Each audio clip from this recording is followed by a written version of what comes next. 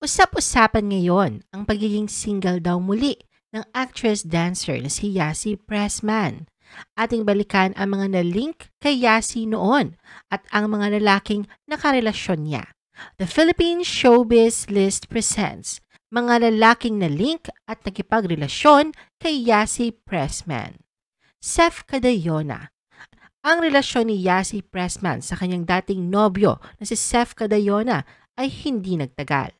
Ayon sa mga ulat, sila nagka-developan habang ginagawa ang indie film na Kaleidoscope World. Pero bago pa man natapos ang pelikula, nagkahiwalay na sila. Sa isang press conference noon ay nakapanayam si Yasi kung ano ba talaga ang rason kung bakit naghiwalay sila ni Seth. Anya, pagkatapos nilang maghiwalay ay nag-usap pa rin sila ni Seth. Ngunit paglalahad ni Yasi na selos raw talaga ang tunay na rason kung bakit sila naghiwalay ni Seth. Anya, may close friend raw si Seth sa Bubble Gang noon na kanyang pinagseselosan at ito raw ay si Andrea Torres. Pero paglilinaw ni Yasi na magkaibigan lang si Seth at Andrea at walang namagitan sa kanila. Magkaibigan rin raw sila ni Andrea at paminsan-minsan ay nagbabatian. Dagdag pa niya na isa rin sa mga rason kung bakit nagpa siya silang maghiwalay ni Seth ay dahil sa kanilang mga showbiz career.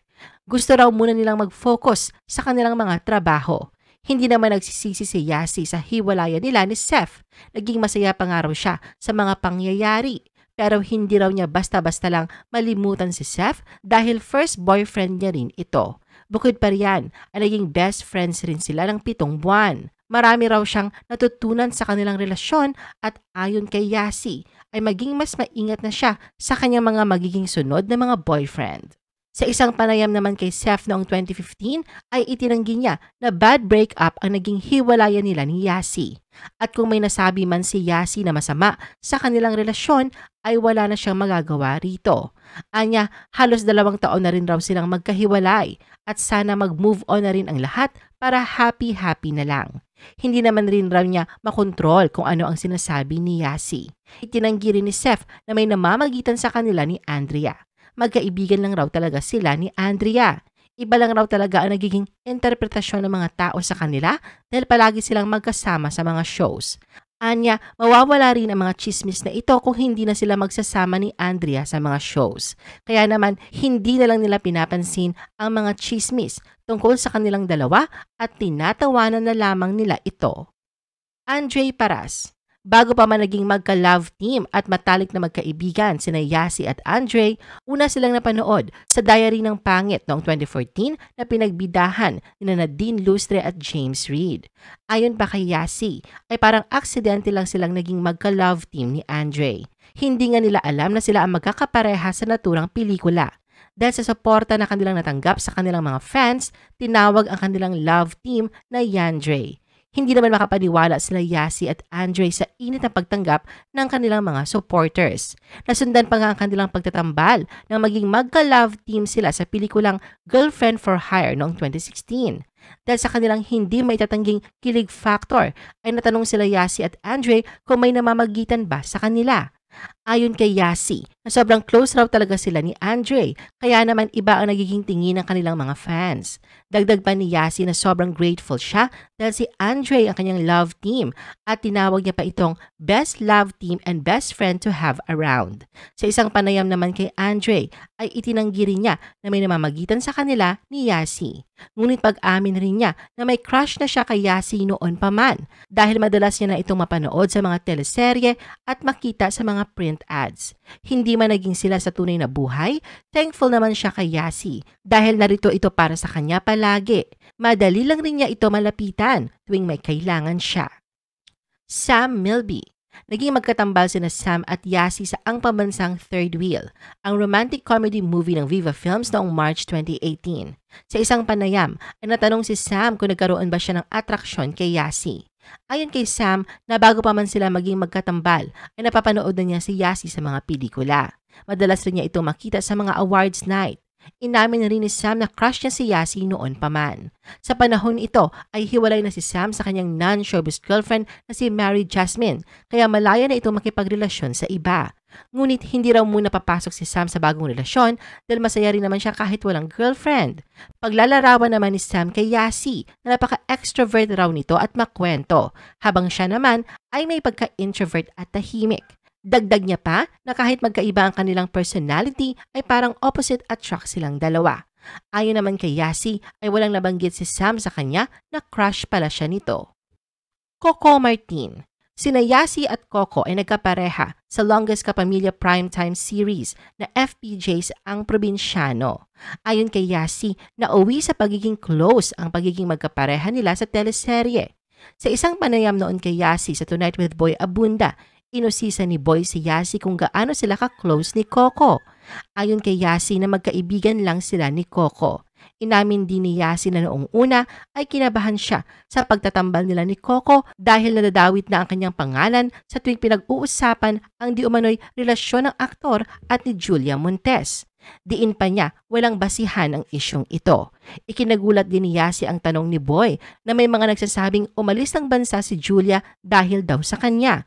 Nadawit rin si Yasi noon sa isang iskandalo na kung saan nakasagutan niya ang isang netizen dahil sa pambibintang sa kanya na third party sa relasyon nila Coco at Julia. Sa unang post ni Yasi, may kalakip itong written text na nagsasabing trust, firm belief in the reliability, truth, ability, or strength of someone or something. Sa ikalawang post ni Yasi, makikita ang screen cap mula sa music video ng kantang Thinking of You ni Katy Perry wala itong anumang caption. Pero sa comment section na naturang post, isang netizen ang nagsabing panay ang pagpapapansin ni Yasi kay Coco. Mabilis namang ipinagtanggol si Yasi ng mga taga-suporta ng tambalan nila ni Coco. Pero umapila si Yasi sa kanyang fans na wag nang makipagdebate hinggil sa issue. Sandro Marcos Spotted naman na magkaakbay at sobrang close si Yasi Pressman at ang anak ni President Bongbong Marcos na si Congressman Sandro Marcos sa isang event. Ngunit ayon sa ilang mga netizens na magkaibigan lang raw ang dalawa. Mag-BFF lang raw ang turingan ni Yasi at Sandro sa isa't isa. Ngunit may naniniwala naman na may something sa kanilang dalawa lalo pat ayon sa iilan na single ang dalawa. John C. Mira ang mga misteryosong post sa social media ni Yasi ay nagbigay ng ideya sa kanyang mga fans at followers na hiwalay na sila ng kanyang boyfriend na Filipino-Canadian businessman and basketball player na si John Simira. Ilang araw na nakararaan, ito lang August 10, 2023, ipinasilip ni Yasi sa pamamagitan ng pag-post niya sa kanyang Instagram account ang black and white photo niya habang siya ay nakatagilid suot ang loose black sleeveless top ang kanyang panibagong tattoo na hummingbird sa kanang tagiliran ng kanyang katawan. Nilagyan niya ito ng caption na, It's nice to be free like this hummingbird on me with bird emoji. At ito lang August 12, 2023, mas lalo pang umigting ang mga haka-haka ng kanyang mga tagahanga at taga-subaybay na hiwalay na sila ni John dahil sa kanyang Instagram story na plain white background na may caption na not triple, not double, but single. Bagamat wala pang opisyal na pahayag mula sa magkabilang panig, napansin ng mga netizens na hindi na nakafollow si John sa Instagram account ni Yasi na nagsasaad ng kahalagahan ng kanyang pribadong buhay. Samantala, nananatiling nakafollow pa rin si Yasi sa Instagram account ni John. May mga ilang bagay ring nagpapatotoo na matagal nang hiwalay si Yasi at John.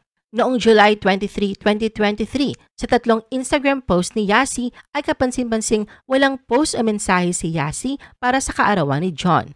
Isa sa mga post niya noong araw na yon ay ang larawan niya katabi ang isang malaking amethyst crystal stone at nilagipan pa niya ng caption na healing with sparkling emoji at pinasalamatan na rin niya ang Panginoon para sa sunshine, rain, joy, and pain. Samantala sa birthday post naman ni John sa kanyang Instagram account noong July 23, 2023, mapapansin namang hindi ni like o nag-iwan ng birthday greeting si Yasi para rito kahit pa follower pa rin niya si Yasi sa Instagram. At kamakailan lang, isang makahulugang Instagram post ang ibinahagi ni Yasi na naglalaman ng mensahe na dapat ipagmalaki mo ang iyong sarili at dapat maging proud ka sa mga nalampasan mong pagsubok na hinarap mo ng tahimik. Nilikipan niya rin ito ng caption na finally smiling. Thank you, Lord. I-post ang inyong comments at reaction sa baba. At huwag kalimutan na i-like at i-share ang video na ito. Gusto mo pa ba ng ibang showbiz videos? Panoorin ang aming iba pang top viewed videos. Para sa aming mga YouTube viewers, pumunta lang sa description ng video na ito o i-click ang link sa itaas ng screen. Para naman sa mga Facebook viewers, ay maaari ninyong hanapin ang mga link sa comment section ng video. I-follow nyo din kami sa Facebook at mag-subscribe sa aming YouTube channel. Thanks for watching!